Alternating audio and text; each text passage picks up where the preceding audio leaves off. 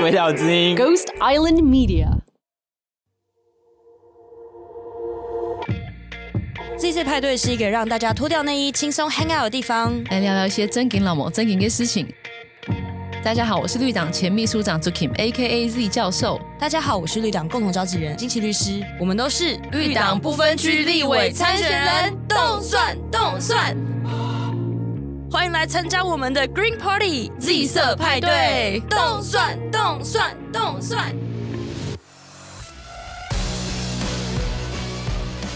好，大家好，这是 Z 色派对的选举期间的短系列。那我们会访问几个不同的小党对于少子化这件事情的看法，跟他们提出的对策，然后就希望能够让听众对台湾少子化的现况啊，还有就到底未来可以怎么解决这个事情有一些想法。然后我们今天的来宾呢是小明参政欧巴桑联盟的何雨荣。那我们让雨荣来自我介绍一下好了。Hello，那个竹琴好，好久不见。因为我们虽然党叫做小明参政欧巴桑联盟，但我们这一次出来的区域立委加上不分区的候选人，其实大多蛮多都是蛮年轻的，包括我们这一次推出了三个三宝妈。就是说，我们有三个区呃区域立委都是生了三个小孩的妈妈，女性这样。哇，所以你们完全没有造成，你们就不是台湾少子化现象，对，你们就在努力 打破少子化。好，那台湾的少子化现象，我觉得大家一定也都知道啦，就是这个已经是台湾近年来最重要的一个议题。那但是数据上来说，台湾的就是出生率是真的很低，二零二一年只有十五万七千零一九人这样子，平均育龄妇女就是一个适合生小孩的妇女的这个生育人数，一个人只有生零点九八个小孩啊。那要达到人口替换水准，人口替换水准的概念就是死掉人跟出生人要一样，那就是那我们的人口总数就会一直维持，是要一个妇女要生二点一人，那只要低于这个的话，就人口负成长，生育率会影响到一个国家的整个国力嘛，等等的，所以他们好啦，就是观察这个也是也是合理的。那我想问，就是你觉得台湾的高龄化现象到底是什么东西造成的？我觉得整体的育儿环境都非常的不友善。我们问很多年轻人，问他们会不会想生小孩，他们第一时间就是我连自己的生活都照顾不好，我怎么可能想要再生小孩？再来就是我生了小孩之后，我要去顾虑到我所有的生活品质可能都会下降。好，然后另外就是别人看待我的眼光，我带着小孩出去的时候，我可能会变得异常的不受 欢迎。因为有时候我孩子有时候不是那么可控的一个生命，对，因为他在零到二岁的时候，他在他的呃生命的发展上面，他不是这么顺畅可以沟通的时候，他有他的需求，他可能任何时候他想要喝奶，那你在捷运上面的时候，你你在哺乳，你，在捷运上有地方可以哺乳吗？车厢里面是没有的，然后你要去下了捷运站之后的公共空间。但是其实现在有所谓的哺乳巾嘛，其实育儿的时候有这个需求的时候，其实还是可以这样做。但是当你这么做的时候，别人还是会觉得，哎，是不是不好看啊，不美观啊？哎，所以我想问你们的里面的成员，真的有在外面就是公共场合哺乳的时候，真的遇到这样子就不友善的言论跟对待吗？当然，当然，当然，我们几乎所有的亲子育儿家庭有蛮多，因为只是说我们现在在这个事件上，我们会比较严谨一点。万一真的发生这样的事情，我们其实通常不会采取息事宁人的做法，因为我们希望把这件事情推向成就是。我其实我们每一个人都有机会创造更友善的育儿环境嘛，那包括我们这个孩子有这个需求，然后大人有这样的需要的时候，周围的人能不能提供这个友善的空间，或者是把它视为一件正常的事情？我觉得这个社会的氛围非常的重要。那当然，我觉得我们最重要就是到底我们有了小孩之后，我的工作跟生活要如何能够平衡啦？我们前阵子还是继续在做了一些怀孕歧视的呃相关的案件跟工作方的调查。其实我发现女性在遇到怀孕的时候，她受到的这个职场隐性的歧视，其实数量还是多的。公司能不能够让我们真的可以安心的怀孕，而不会觉得是增加同事的负担？我觉得这些东西都是。呃，在我们职场里面会遇到的事情，所以我们包括生了小孩之后，我们去公共场合，包括我们就有候选人去新北登记的时候，因为他的小孩很小，然后刚好又生病，他就是很黏妈妈，就去登记的时候被认为是就是十二岁以下儿童，所以不得陪同进入登记。为什么？这是什么规定？那这是什么这个是一个？违法的规定，只有新北选举委员会才有做这样子的规定，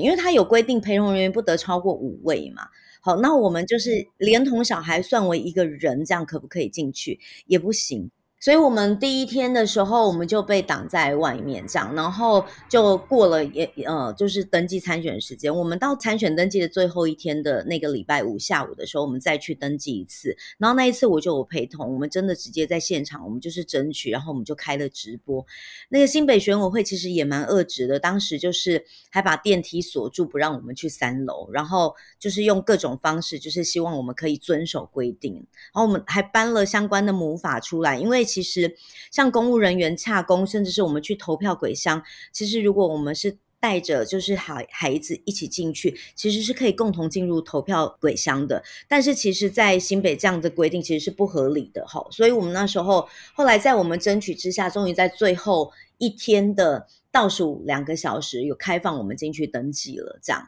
好。那我们认为这个其实就是一个公部门带头歧视妇幼的一个现象，因为其实这的确是蛮危险的一件事情。因为包括我们去公部门洽公，或者是进出大大小小的呃公共场所，或者是捷运，甚至是医院，都应该要把儿童视为一个人才对。好，那这个才是真的是有呃人权概念的。基本上公部门或者是公共运输或者是医疗大众场所，应该要带头做友善。好，那这个才会对于我们生小孩、生了小孩之后，我们会被怎么看待？我们的孩子会被怎么看待？我觉得绝对是一个带头影响的作用啦。对，因为我觉得我这几年的确有感觉到你说的，就是这个，就是育儿环境很不友善这件事情，不只是我们的政策很多不足的地方，就是我其实常常在看到，就是可能网络上会有人说啊，今天去餐厅啊，然后隔壁小孩吵死啊，然后什么，或者有些餐厅会觉得小孩不要进来，所以少子化这件事情，就是就羽绒所观察到的，其实就是有一个很重要的原因，就是我们的育儿环境非常的不友善。其实政策，然后。跟我们整体社会的环境，对于要带小孩的人都有很多的，就是不喜欢，然后有有点排挤这样子。我们从生了小孩之后，从怀孕的时候，我们是不是有产假？然后呢，父亲是不是有陪产假？然后有育婴假、育婴津贴、亲职假，或甚至是亲职教育假这一些，其实这一些相关的补助支持，然后是不是有有到位？好，然后这个东西就反映了我们到底敢不敢生，甚至是我们都还没有到有了这些假之后，我们在文化上我们敢不敢请，敢不敢用哦？现在是连基本的这些价的保障有没有到位，这件事情都还是不足够的。那其实另外第二、第三项就是，我们大多的这个亲子友善很少从儿童出发。大多都是以从父母大人的观点方便出发这样子去做的，但我们其实也蛮想做的是，有没有办法，有没有机会真的去拿掉所谓的父母惩戒权？因为前几年我们在推的是去去除掉所谓的校园的体罚嘛，我们其实真的想推的是，其实现在全球有将近六十个国家，它其实是禁止父母可以惩戒体罚自己的小孩的，即便在家内都是禁止体罚的。好，那我们在台湾其实还没有真的足够。的声量来讨论这个议题，但其实我们作为一个政党，从小也是一直实践不打不骂来教小孩。我们的确是想要在法制上就直接去拿掉父母对儿童的惩戒权。好，所以我们其实觉得应该要有儿童出发的观点，跟在呃法制上面的保障。我想要请问一下，就是因为很多人会觉得，就是因为小孩不打不不骂，然后才会在外面一直闹，然后就是就是这些家长都纵容什么的，就是你对这样子的。言论有什么样的回应？我其实觉得回过头来思考，是在台湾的育儿环境，尤其是都市里头的育儿，小孩的生存空间真的非常的小。像我们小时候，如果就在野地里爬树啊，有各种自然环境生长上长大的小孩，其实我们的那一些玩乐跟体验好的需求被满足的时候，其实我们就不会这么的容易躁动。好，那整体环境来说，跟台湾我们的绿地的空间非常的不足够。孩子真的不是在一个适合他生长发育环境，他一个生命应该要有的就是自然体验下长大的孩子，他自然就会比较躁动。所以，我们如果从儿童的生命发展去看的话，就知道我们本身提供的就不是一个适合孩子生长的环境。哦，因为他们的生长可能就是处处受限，然后可能想要发泄的精力也无处发泄，所以就比较容易在公共场合的时候做出一些探索，或是把餐厅当公园的这种对，没错没错，因为它的探索几率本来就是很小，所以本身我们要在想，在台湾要育儿，为什么有一些家庭他会宁可希望，哎。我可以搬到远一点点地方去，我不是在城市里头长大。我们必须全面的考虑这些本来就很限缩孩子的发展。所以就是一方面是育儿环境不友善，就是在社会氛围方面；第二方面就是在实际的空间配置上面，我们也没有考量到，就是小孩要长大所需要的。那小孩子不能好好长大，他其实就会连带给家长多压力。所以你觉得这也是？导致大家就觉得算了，不要生了，因为生了就是好像也很难让小孩好好长大。真的，生了之后，我们你会立刻觉得我好像变成次等公民，就是我带小孩去到哪边，我可能不是那么方便，那么受欢迎。我从怀孕期间，我可能就会造成同事的一些困难跟困扰。所以等到小孩到三四岁，好不容易我终于可以送到幼稚园的时候，有没有立刻我们会遇到学前教育公共化的问题，公托足不足够，然后还有公托的品质，好是如何？好那。那这个整个我。很容易反映出来，是我生了小孩之后，我辛苦的所有的劳动的成果所得，全部都进到了业者的口袋。但是我跟我的孩子有没有真实实际的相处的品质的提升？那我的孩子在幼教里面，他有没有照顾品质的提升？甚至是照顾我孩子的人，他的心情好不好？他的劳动条件好不好？好，这个整体都是呃要思考的问题。然后，所以我觉得找子女化这件问题其实很复杂，它其实真的是动摇国本的，它也是一个国安危机。我得要这么说，因为如果这些环境都没有全面的去想到，光是什么一胎补助我六千，补助我七千，补助我一万，好像是一点意义都没有。真的啊，真的，因为我在乎的不是那个一个月一千一一万两万这个钱而已，而是整体的社会文化品质这几项有没有真的一起帮我顾虑到？那唯有真的顾虑到，才叫做一个真的友善呃亲子家庭跟育儿的。环境，我们才会真的放心生、放心养。因为政策好像以政党的立场，好像如果我们选得上嘛，我们可以处理一下。但是社会文化这个部分，在政策的回应上面可以怎么做？其实以前我们去日本旅行，会发现很少亲子家庭，尤其是日本的亲子家庭会做大众运输，因为他们会有一个集体的意识，是我的小孩会吵，所以我如果去做大众运输，我会打扰到别人，所以他会直接规避掉做大众运输，他会直接开车出门去旅行。但是我们发现这几年在日本的政策上，他在捷运或者是在呃公共运输上，他会写说婴儿可以哭，我们的孩子可以哭，意思就是说他是容许这个声音在里面的。那他当这样放的时候，我作为一个妈妈，我看到这样的时候，我觉得我好像被接纳，无论我小孩会哭不哭，我去那边的时候，我有一种比较安心的感觉。那我觉得这个就是整体在育儿环境上。我们最基本公共部门可以带头做的，就在公共场合哭，好像是一个不礼貌、会打扰别人的事情。但是我们的社会氛围应该要去允许小孩可以就像一个小孩，小孩他有哭跟探索跟发展的需求。我们一般的人可以给撑出友善空间，但是如果比方说航空公司、公部门或机构，他都可以带头做，我觉得那个就是另外一个更相对友善。比方说小孩真的哭闹有需求的时候。很多人会觉得说，我想要要求换去别的座位，但是可能有一些航空公司，他就直接处理，哎，亲子家庭，我直接帮你升等到什么什么舱，让你可以有更安静。它取决于这个机构如何看待我，能不能真的有像这个有需求的人。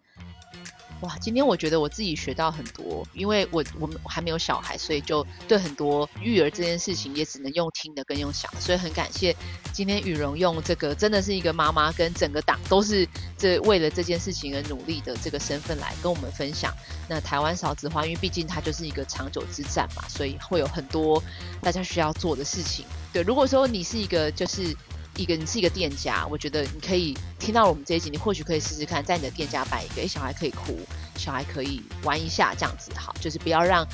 小孩的存在变成好像是一个很负面的事情。其实我觉得，所谓的友善不一定是要有什么儿童游具啊，或者是卡通的东西这样而已。有时候是包括整个文化，在整个环境人的对待的支持上面是友善的。我如何看待他，就是真的是一个人。我觉得那个友善才是最巨大。它虽然无形，但是它真的是非常强大，而且是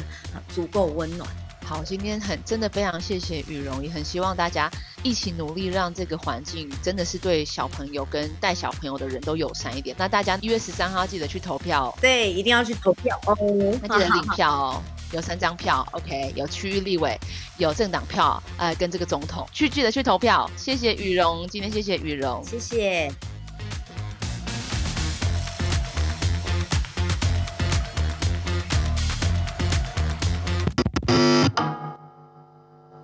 Party's over, get out。太嘎张伟撩。